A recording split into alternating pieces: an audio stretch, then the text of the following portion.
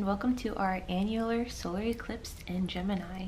So a lot of astrologers are saying that this is going to be a major, major reset for us just in general. The overall energy right now, um, I'm just going to be honest with you, it does feel a little chaotic and I think it's only chaotic just because the changes that are coming we have zero control over.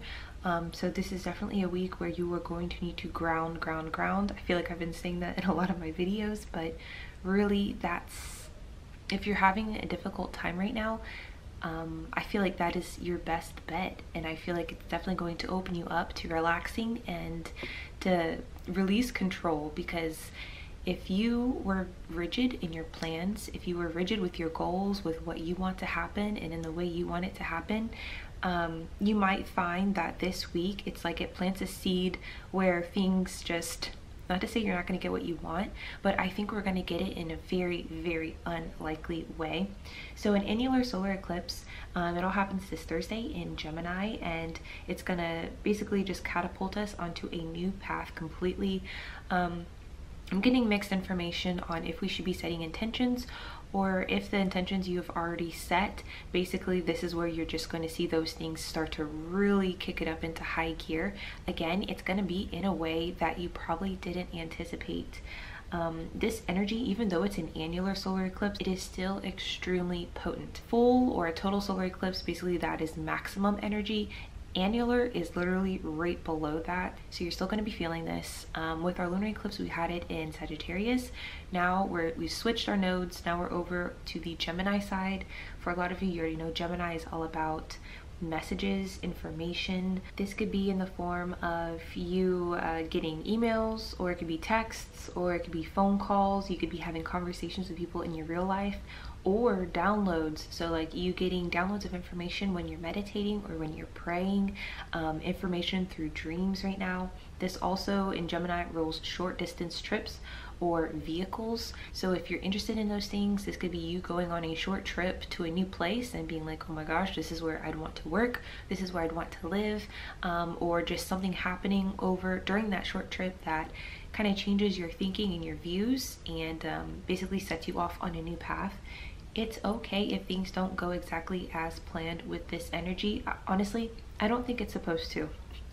Um, we just have a lot going on and a lot of our current plans, our current goals for what we wanted and what we saw for ourselves are basically being rearranged right now. I keep on recommending you to ground because if you're trying to hold on for dear life, um, now is not the time. You just kind of want to ground yourself and have faith and go with the flow um, any type of rigidity is not going to be um, praised right now. I mean, there are times when being very rigid and sticking to a strict plan, like it'll pay off.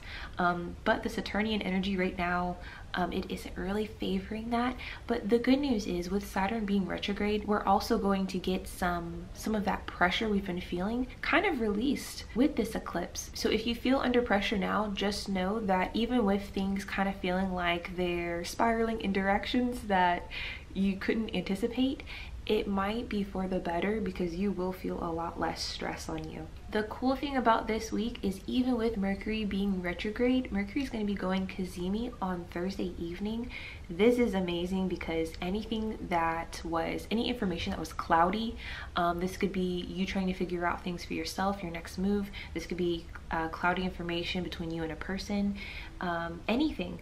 Um, basically, during its cazimi period, which is going to be like about one to two hours Thursday evening, so around seven, basically these downloads are just going to come from nowhere this is an amazing time to have an important conversation with someone, to get the conversation started, or you might have someone reach out to you during this time and just drop some truth bombs on you that completely changes your way of thinking. This is a very impactful week um, the seeds of whatever is rearranging itself in your life or whatever seeds are being planted, it's all going to unfold over the next few weeks, two months. So yes, just being completely honest, for some people, it is going to feel like a moment of crisis. It's going to feel like bad news at first, but if you are having bad news, if you are having news that um, or some type of situation that you really never wanted to happen, just know that in the end, it is going to be more beneficial for you because it's basically getting you out of your comfort zone, out of whatever past mindset you were in, and it's basically ushering you into a new way of thinking,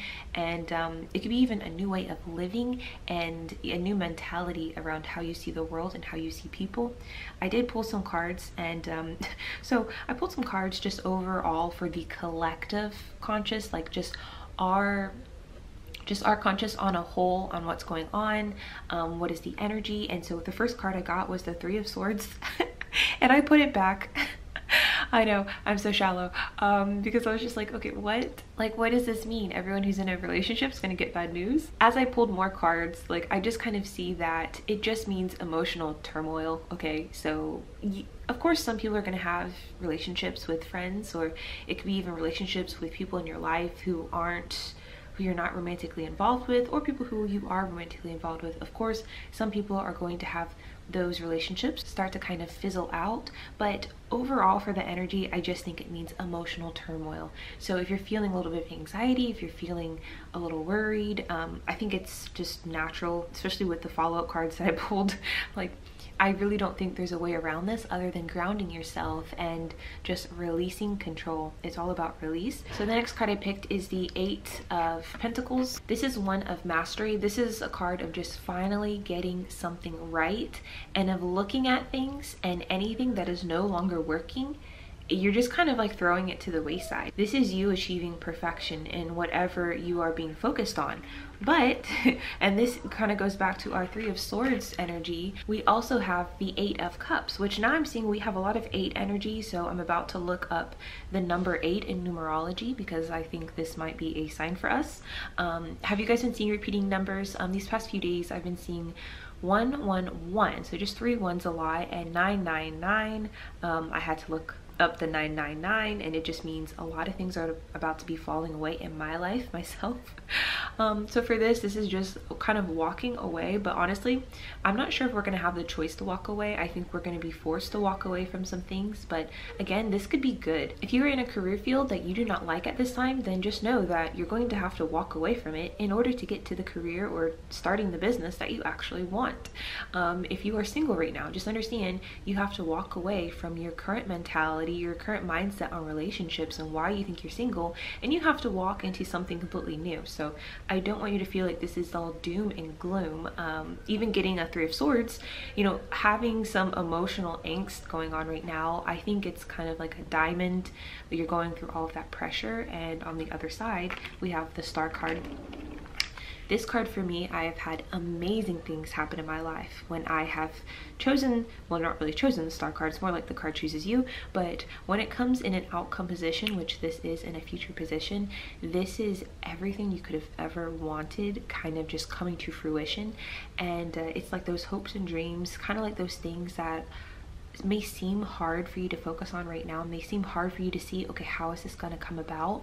It's just things lining up so synchronistically and and really just in ways that you could never have done it yourself. Like it's like you definitely need divine intervention to make these things happen.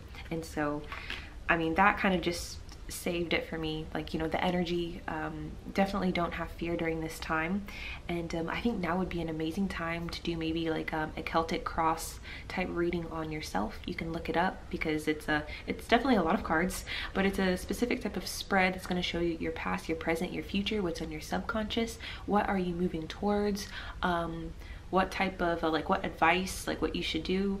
Also um, what people or what things may kind of come in and start to change whatever path you're on. Um, it also shows your your fears and your hopes and then it shows the total outcome energy. So between all of those cards it is amazing to just get a grip of what was your past what are you currently going through and what are you moving into? So if you're into tarot i highly recommend um, this is a great time to do a reading like that right now. I did one for myself a few days ago and so you definitely want to write it down in a journal or in a book um, what cards were in what placements, what do the cards mean, and um, this is something that we're going to want to look back on over these next few months, over these next few weeks, because it's going to help guide us through all of these changes that are taking place. So I'm very excited for everyone.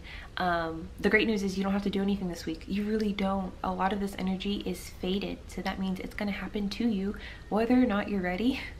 um, so just uh, buckle up and, um, you know, ground yourself and uh, definitely keep that high vibration state of mind because it definitely is going to be very beneficial. And um, for those of you who have been kind of in the dark or you've had murky communication and you just okay what's the deal? What's going on? What's going to happen? You're definitely going to get clarity this week and so i think that's probably the biggest blessing that you can look forward to. I think this week is just finally gaining some clarity